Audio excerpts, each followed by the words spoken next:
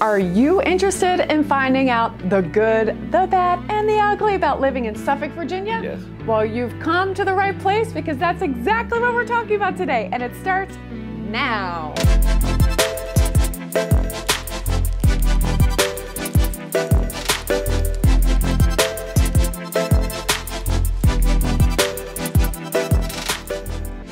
What's up, fam? I'm Jonathan Beasley, and this is the one and only Rachel Beasley, love of my life, queen of my heart, business partner extraordinaire. And we're here today with another video regarding the Hampton Roads real estate community. And today we're specifically discussing all things Suffolk, Virginia. It's very near and dear to our heart because we have a lot of close friends and loved ones that live there and have chosen to call Suffolk home. So we're excited for what we're about to talk about and share with you. And one quick note, if you find this video informative, please smash that subscribe button and hit the bell notification too. That way you'll be notified every time we post a new video. We're gonna be posting new videos each and every Wednesday on things specific to the Hampton Roads community and real estate. So if you have any questions at all on those topics, please feel free to comment below. Our sole purpose here is to serve as an informational resource to you. So we'll also put our email below and our contact information so you can hit us up here or you can shoot us an email anytime and we'll reach out and answer any questions you have. Now let's get into it. Suffolk's blend of easygoing rural charm, modern city amenities, and a relatively high rated school system have made the city an attractive option for buyers looking to buy a home in the Hampton Roads area. Located within easy driving distance of Virginia's beautiful East Coast beaches, which we go to quite often, and other natural areas, the city offers residents plenty of recreational opportunities in the community. It also exhibits what you've come to expect of a charming southern city, which would be history, warmth, and a lot of hospitality. Yes, it's charming. Yeah, good stuff in Suffolk. On to the real estate portion. The number of homes for sale in Suffolk may suggest that it's mostly a residential area, but make no mistake, there's plenty to do. So if you head downtown to like the Washington Street area, you'll see a lot of like boutique shopping and cool little stores that sell keepsakes and gifts, you know, the kind of stuff like porcelain trash cans that we have on our house. Who mm-hmm. makes porcelain trash cans? We have to have that for my bathroom. There's all kinds of dining. Uh, there's anything you want from like Greek and Italian to like fast food chains and the stuff that I try to avoid that I can't, like Burger King, because I love them freaking double whoppers with cheese. Now, in terms of single family homes, Suffolk still has some of the best bang for your buck in the seven cities of Hampton Roads. Relatively speaking, your budget in comparison to say Norfolk, Chesapeake, and Virginia Beach will stretch a good bit further.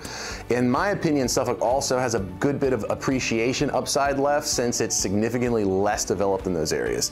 It's also seeing continued population growth, which fuels values. And if you think about it this way, the current population is around 90,000. And over the past 10 years, we've seen steady growth in population and in home values. So we're also seeing a lot of new inventory and development and new construction. So we expect to see Suffolk appreciation trend at regional and national levels or maybe a little faster. So there's still a good bit of upside. Suffolk's also home to various corporate industries and job opportunities that will continue to fuel both population growth and real estate values. Warehousing, distribution, retail, medical, defense contracting, these are all things that comprise the large segments of the corporate engine of Suffolk. There's Lipton Tea, Smuckers, Blue Bell Creamery, Target, QVC, Lockheed Martin, Cisco, Amazon, and of course, Planters Peanuts. You can check out the Planters Peanut statue that's in downtown Suffolk, which is a trip. Suffolk in rapid fire. Suffolk may not be for you if oh. You're accustomed to public transit. So here's the thing. Suffolk is the largest city in all of Virginia by land mass. It's 430 square miles of land. So don't expect to see a lot of uh, public transit or any form of transit at all other than the downtown area. Only 1.6% of the population uses public transit at all. So you're definitely gonna need to plan to walk, ride a bike, or have a car if you're living in Suffolk. Although Uber and Lyft they do. are readily available. We use them from time to time.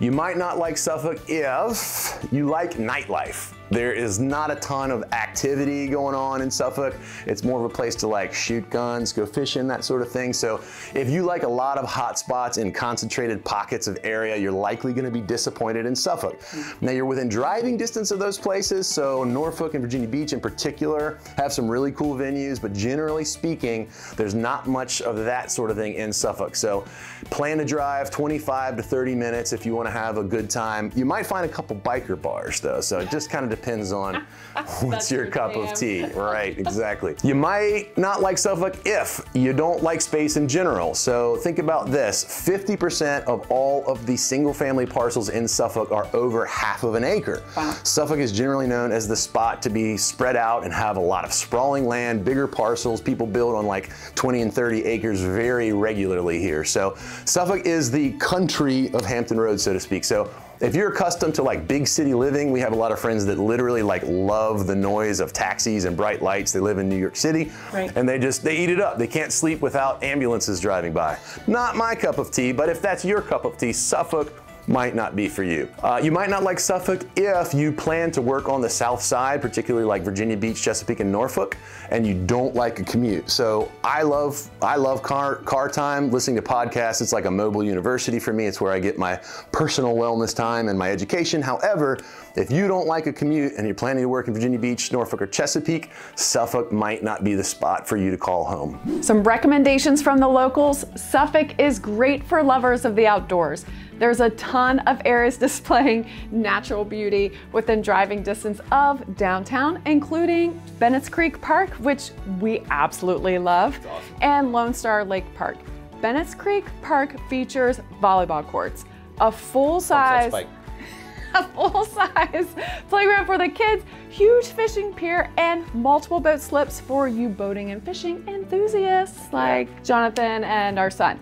Also be sure to check out the hiking trail and it actually has an 18 hole disc golf course, which is actually pretty fun. Yeah. You're taking the family there and it's it's Remember a you total almost got blast. bit by a snake? I did, yes. I But I mean, poked it and it got aggressive. have like a snake stick or something because you are like in the woods. See, I did good. I had a You snake did, stick, but I know. tried to bite you. I may have screamed a lot.